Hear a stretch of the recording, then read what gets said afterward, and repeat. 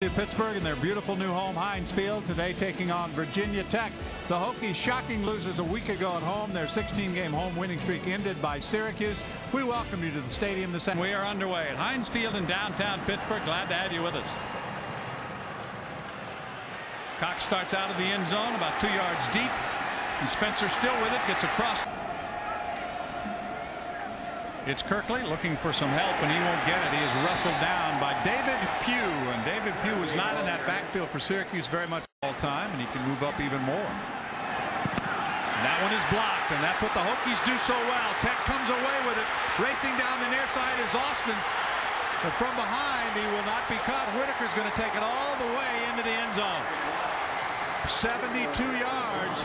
Austin got the block.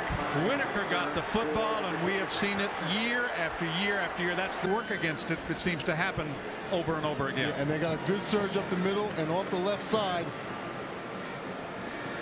And this Virginia Tech team has been so good. And you got Austin coming in, but you, you got a little bit Austin McAdam. And that's the thing about Virginia Tech. They play their starters on special teams. And that might have been Cobb, the defensive end, number 28, who was able to get in there and get a hand on it.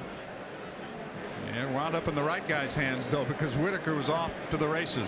Nobody was going to catch him. 72 yards later, it's a touchdown. And the Hokies have tied the ball game up. If you look at the stats, obviously, Don, they've dominated. Well, there's so many. Play fake. Pressure, and down he goes. Back inside the 30. He is wrestled down behind the line. Colas and Davis teaming up.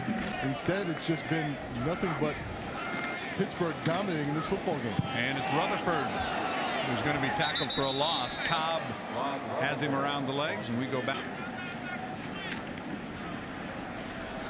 The lefty guns it, but he guns it to the wrong guy, and the Hokies come out of there with it. DeAngelo Hall with the interception at the 40, still on his feet.